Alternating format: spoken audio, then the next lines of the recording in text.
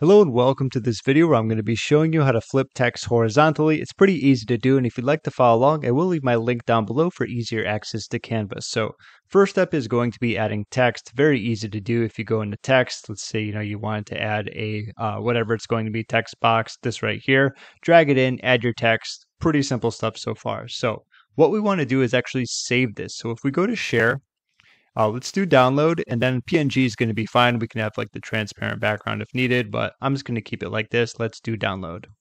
Okay, so that's saved and what I did was simply upload it right here. What I want to do is delete this now. I'm going to drag this in here like this. Let's say we want to put it right in the middle. We'll center it.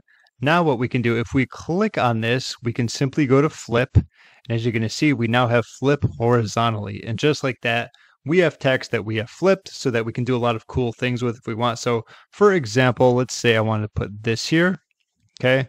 Let's say this is going to be set as background and you'll notice that it has the white. So this is where you'd probably want to use the transparent version. So let's just say, let's do it again. I'm just going to show you another example so that if you wanted that transparent, oops, sorry, I hit the wrong button there. Uh, test text. Okay. Let's download and let's do the actual transparent background this time. Okay, now let's add this in. You're going to notice, so let's say we had, I'll, I'll add this one. Do set as background. And we have our test text right there. And you're going to notice uh, let's change, you know, probably want to make that white, right? So, but nevertheless, we can go flip, we can do flip horizontal. And this is how you're really going to be able to make it transparent. Obviously, depending on what you have there, make sure you change the color first so it looks great.